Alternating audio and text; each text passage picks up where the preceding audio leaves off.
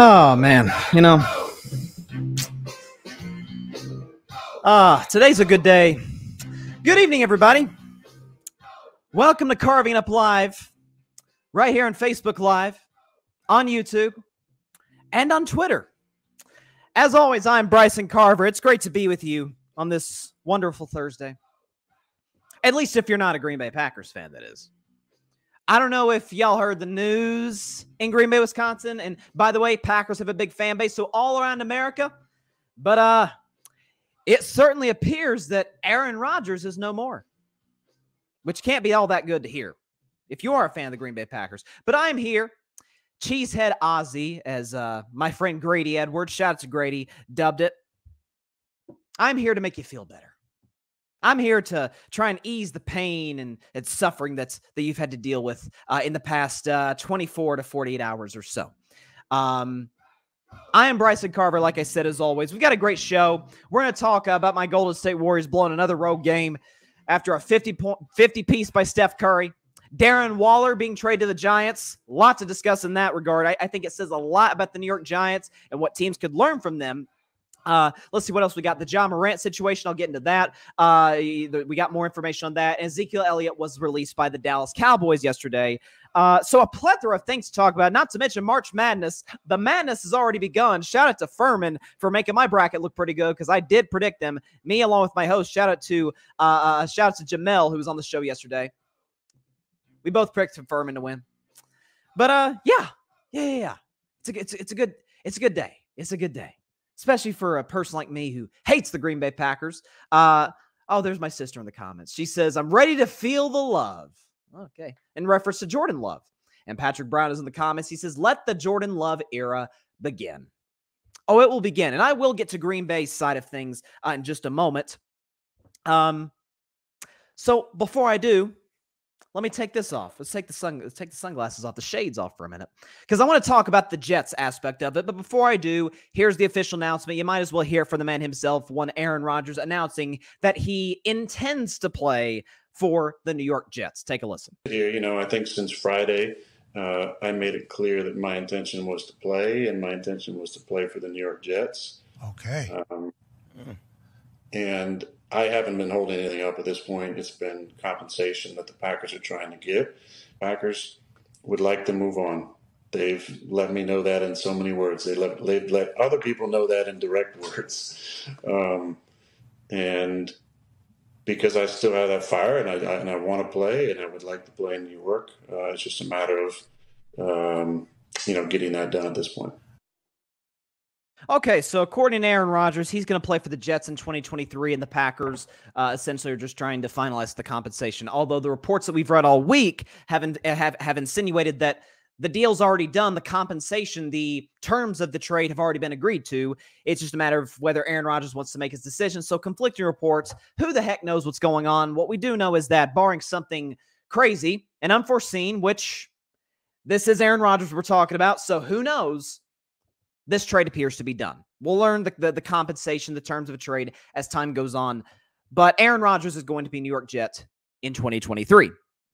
Now, I'm hearing a lot of Jets fans. I know two of them. Shout out to John Rivera, the Fan Perspective podcast. He's been he's been begging the Jets to make this deal for Aaron Rodgers for a long time. Uh, Alfred Parsar Jr. maybe not as much as John Rivera has been, you know, at least hoping for a franchise quarterback. You certainly got an upgraded Aaron Rodgers. He's a Jets fan, and he's got a podcast here uh, called the Rocky Field Jets podcast on the Gryd.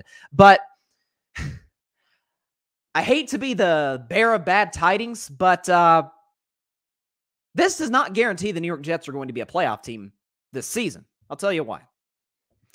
A lot of Jets fans have made the case that, hey, we had a top three defense in the NFL, and that is absolutely true. Sauce Gardner was unbelievable. The the undeniable Defensive Rookie of the Year. I'm shocked he didn't win unanimously because I never heard of anything about him uh, uh w- winning that award unanimously. Uh, you've got obviously uh, the the the the uh, the brothers Quinnen Williams, his brother as well. Defensively, offensively, You've got a plethora of talent. Breece Hall should be coming back from an ACL tear, uh, uh, stronger than ever. It appears the Jets are going to make some moves, possibly in free agency, to shore up that offensive line. They've got a number one talent at wide receiver. Not to mention they've added Allen Lazard, which More on that in a second when I get to Aaron Rodgers individually. Uh, but they've added talent to the offensive side of the ball, and God knows they're set defensively. Here's the bad news you play in one of the tougher divisions in the NFL. You play in a division where Josh Allen is the best quarterback among those four teams with the Buffalo Bills. The Bills, I think it's safe to say, are the best team. Certainly, they've proven that over the last three to four years. The Miami Dolphins, while I have major, major questions about Tua Tagovailoa, and I don't buy him at all, I cannot deny that roster is really good. So my Tyreek Hill and Jaylen Waddle. We'll see if they bring back Mike Gesicki, uh, a, a, drastically improved offensive line. Defensively, they've got a, a new coordinator in there, Vic Fangio, to try and sure things up, clean things up on that side of the ball. And Mike McDaniel has, appears to be a pretty solid offensive coach. So Miami is looking up. The Patriots, they've had a decent offseason. Bill O'Brien, while I don't love the hire, he's a better hire at offensive coordinator than Matt Patricia, who is a, a defensive coach. And they just added Juju Smith Schuster. So things seem to be looking up for all the AFC East teams. There's no question the Jets have upgraded at quarterback. Here's the problem how much are they upgrading at the quarterback position? Because I'm hearing Jets fans forget playoffs, which they have not been to in two, since 2010. I'm starting to hear talks of Lombardi, which of course they have not done since Joe Namath guaranteed that they would all the way back in Super Bowl three. Here's the quarterback that they're getting in Aaron Rodgers. 19th in yards per game last year, 26th in interceptions, 16th in passer rating, 26th in QBR. And they're getting they're getting a quarterback who has not had a 300-yard passing game since week 14 of the 2021 NFL season. It's better than Zach Wilson and Mike White, I guess, but I don't know. In that AFC where you've got the defending Chiefs coming back and appearing to reload, when you've got the Bills looking to improve on the, the mistakes they made last year, Miami appears to be a better football team last year. Even a team that I, I don't like really at all, the New England Patriots, they seem to be at least buying somewhat into the offensive side of the ball. You think about Cincinnati Bengals, what did they just do? They just went out and got Orlando Brown from the Kansas City Chiefs to be Joe Burrow's left tackle. Pittsburgh's going to have an improved play at the quarterback position in Kenny Pickett, I believe, because most rookie quarterbacks take a big step. There's exceptions, but most of them take a big step in year two. Denver got Sean Payton. So Russell's not going to be, I don't think Russell's going to be the Russell of old in Seattle, but there's no question. I mean, Sean Payton's made Taysom Hill work. Okay, he's won he's won games at Taysom Hill at quarterback. Surely to goodness he can do so with Russell Wilson. And a lot of the you know so much of the money that the Denver spent in, on improving that offensive line this offseason. All of those teams I'm mentioning the AFC before I even get to the Jets, who have a coach in Robert Saleh who I like, but I'm not sure is 100% the guy. They have an offensive line that needs to improve. They've got they've got to address in the draft, free agency somehow, some way in order to protect Aaron Rodgers. And defensively, while they're great, we know great defenses often aren't as good the next year. Just look at history. Uh, there, there's there's very very few exceptions where you got a phenomenal defense that's just as good the next year. It's rare. And so I, I don't know if it makes the Jets a playoff team, much less a Super Bowl team. Now, as for Aaron Rodgers, I think it's very fascinating because Aaron Rodgers was discussing that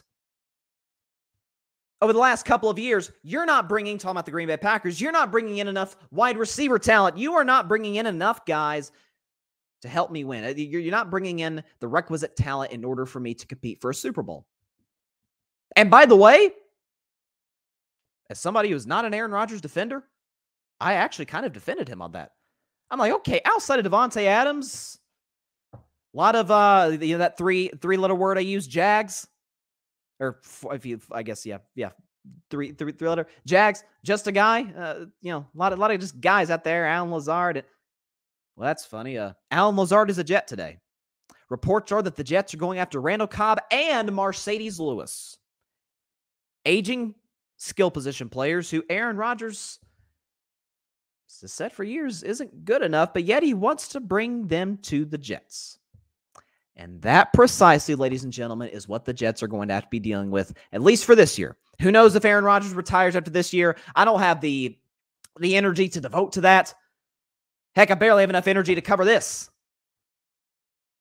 But for Aaron Rodgers, what I think is is fascinating is that there was a quote. I, have got the quote right here because again, that that was from the Pat McAfee show where he announced that he was going to the Jets. Uh, here's the quote from Aaron Rodgers, uh, which was said a lot to me. He said, "I got to admit." He was talking about the darkness tree. I got to quote. I've got to admit, I went to the darkness 90% retiring and 10% playing. Now I, I came out of the darkness. Something changed. I'm not exactly sure what that was, but something changed. And I got to I got back to my phone after 5 days off. I realized that, that there had been a little bit of a shift.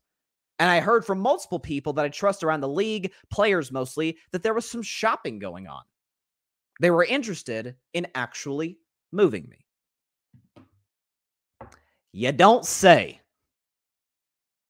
Yeah, when off season after off season after off season, this is now three in a row where you have been the focal point for negative reasons. 2020, they draft Jordan Love. Do I blame Aaron Rodgers for being ticked off? I don't. You drafted my replacement in the first round instead of getting me a guy can help me now? Yeah, I'm going to be a little ticked off. I, I'm fine with Aaron not liking that. But he drags it on and on and on publicly, taking shots at Brian Gutekunst, the general manager, at Matt LaFleur, at the coaching staff, at the organization, at Mark Murphy, the team president. In 2021, You've got the uh yeah, it was 2021 when he was reportedly asking out of Green Bay. Remember, there was Aaron Rodgers. It was on draft day. I remember covering on the show. Aaron Rodgers wants out of Green Bay, and nothing happened. It was just smoke and mirrors. And then he did that press conference during training camp, taking shots at the organization. I mean, everybody in the organization, including his own teammates, who he refused to work out with in the offseason. Last year, it was the very strange ayahuasca thing that he was seen to be more concerned with that than actually getting better at playing football and actually trying to put himself and his team in position to advance the playoffs instead of losing at home in the NFC Championship game as the favorite, as the MVP. And then this year it's the it's the darkness retreat. Yeah, when you have to keep dealing with your star player, your best player, the most valuable player to your franchise constantly year in and year out over and over and over being the focal point of attention for negative reasons off the field, not being committed to football while we're paying you in excess of $50 million. And then you read this quote There was some shopping going on that they were actually interested in moving me. Yeah, I would too. I don't blame them. Aaron Rodgers is a declining player, and notice this: the Packers put up eh, what is they what do they call it? Production intolerance. They'll put up with you, not just the Packers. Any organization will put up with you if you produce. But when Aaron Rodgers declines rapidly, again, we will show the numbers 19th in yards per game, 26th in interceptions, 16th in passer rating, 26th in QBR, and no 300 yard passing games and you go nine and eight. I'm sorry, uh, you, you go eight and nine, if I'm not mistaken. Finish third in your division. Oh, and by the way, you lose what was in effect a playoff game to the Detroit Lions and scored 16 points against one of the worst defenses in professional football. The third consecutive year that you have lost a home game to end the season. They'll put up with you when you're winning MVPs. But when you're missing the playoffs, they're like, hey, we could do that with Jordan Love. what? I mean, well, why, why are we worrying about Aaron Rodgers? And we got we, we we don't have to pay Jordan Love near what we have to pay Aaron Rodgers. So yeah, you don't say that they moved on from you, Aaron. To the Jets, I say, good luck. As the guy over the phone and taken told Liam Neeson. Now, that guy didn't end very well for him, but you get the point. As for Green Bay, let's put the shades back on. Boy, you in trouble. Packers, you in trouble. so, Green Bay will now move on to Jordan Love, who they selected with their first round pick in 2020. To Jordan Love's credit, he obviously did not play any games in 2020. He started one game in 2021 when Aaron Rodgers was uh was out with COVID. When he, you know, lied to the lied to the Packers, lied to the NFL about his vaccination status. Like I said, I want to be very clear. If players decide not to get vaccinated, I didn't have an issue with it. If you were honest about it, Aaron Rodgers was not. Jordan Love started that game against the Chiefs, didn't play very well. Packers only put up seven points. He looked very overwhelmed at Arrowhead, which, in fairness to him, a lot of people do, a lot of quarterbacks do. And then last year, Aaron Rodgers gets injured second half against the Philadelphia Eagles, who we saw, you know, waltz their way to the Super Bowl and came back close to winning it. Jordan Love actually looked pretty good. Was more efficient than Aaron, looked more mobile than Aaron. There was some real good stuff happening there in terms of the development you saw from this young quarterback. The bad news is for the Packers, though, the standard is not get to the playoffs. The standard is not let's see the improvement from our young quarterback. Folks, Jordan Love is going into year four. He's had three years to sit behind Aaron Rodgers. Sound familiar? When Aaron Rodgers sat three years behind Brett Favre, yeah, here's the difference. Aaron Rodgers was predicted by some in the media to be the number one overall pick back in that 2005 draft. He was not. He slid all the way down to 25th, if I'm not mistaken. Alex Smith went number one to the Niners. Uh, obviously, again, more motivation for Aaron Rodgers, and obviously he, proved to be quite significantly a better quarterback than, than Alex Smith was. And Alex Smith had a good career, but Aaron Rodgers obviously is, is better. Jordan Love was never rumored to be the number one overall pick. They were talking about Burrow. They were talking about Tua. I was really high on Justin Herbert that year. And the Packers have weapons. Christian Watson, Romeo Doubs. You got some stuff to work with. Defensively, came on at the end of the season. See if they can get better. See if they can improve. And you certainly know that Jordan Love, at least you hope so, will be more committed to the offseason than Aaron Rodgers was. But again, Packers fans, you know this better than I. The standard is not making the playoffs. The standard is not seeing the improvement of your young quarterback. The standard is Super Bowls. Heck, the trophy's named after your Hall of Fame head coach who won the first two Super Bowls. This is an organization that has had two of the 10 greatest quarterbacks of all time. In a 30 year stretch, they have two Lombardis to show for it. Seven MVPs combined two championships. Why on God's green earth do I think that Jordan, or what I think rather, that Jordan Love would be better, any different? Do I anticipate Jordan Love winning a Super Bowl and winning four league MVPs? I can say Aaron Rodgers, uh, uh, you know, uh, disappointed, underachieved. Yeah, but the guy is still first ballot Hall of Famer. Got my issues with him. He's a first ballot Hall of Famer, no question about it. You sure you're getting in that in Jordan Love? Yeah, I hate to tell you, Green Bay, even in the weak NFC, I'm not 100% sure you're a playoff team. So it's really a lose lose situation if you think about it for Green Bay and the Jets. The Jets have to take on the problem that the Packers have been dealing with for years in terms of their commitment or lack thereof of the franchise quarterback. And the Packers are now stuck with a guy who they don't even know can play or not. Only time will tell. But uh like I said, Green Bay, y'all in trouble. Big time. Detroit's better. Minnesota's better. Chicago's a mess. They're they're Chicago. But you feel like a second or third place team in the NFC North. Thanks so much for watching the show on YouTube. Be sure to click that big red subscribe button and go check out the other clips and full shows of Carving It Up Live. Have a blessed day.